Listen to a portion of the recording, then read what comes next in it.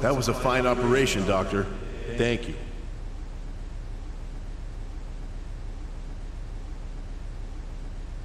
Life.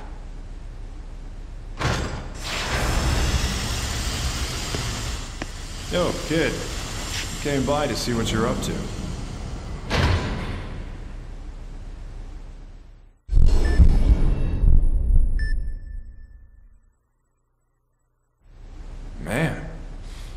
I didn't think you'd be living in a refrigerator.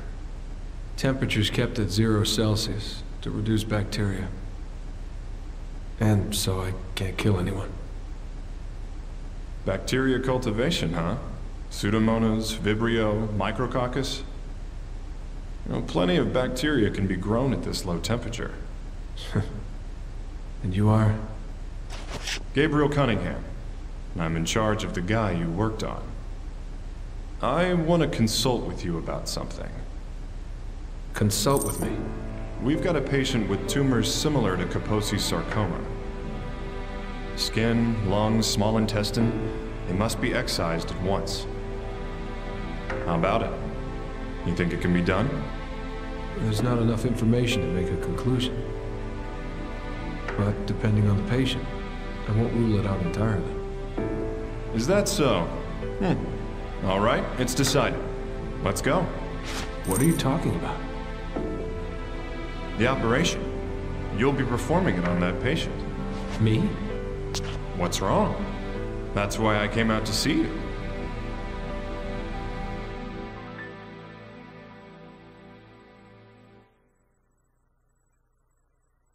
Please check the arterial forceps. Are all the medicines ready? We're running late. Can you check on our transfusion supply? I'm extra trays here. Where's the anesthesiologist? Oh, come on in. You're late. You are... Maria Torres. I'll be assisting you this time. You've heard the details, right? Read the charts, too. all right? Hmm. I have seen you before. Have we met? I hear this is a tough condition to deal with. Hmm. Uh, uh, yeah, you're right. Let's start the operation then.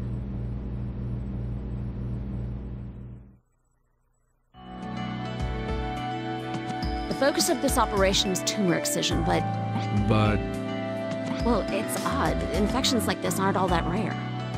Even so, we can't pinpoint exactly what's causing them. What do you mean? Have you done a blood analysis? Please. Of course we did. Do you think we're stupid? Nothing showed up on the CRP, antibody titer, or WBC count.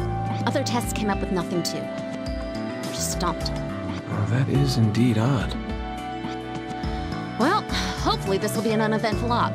Let's begin.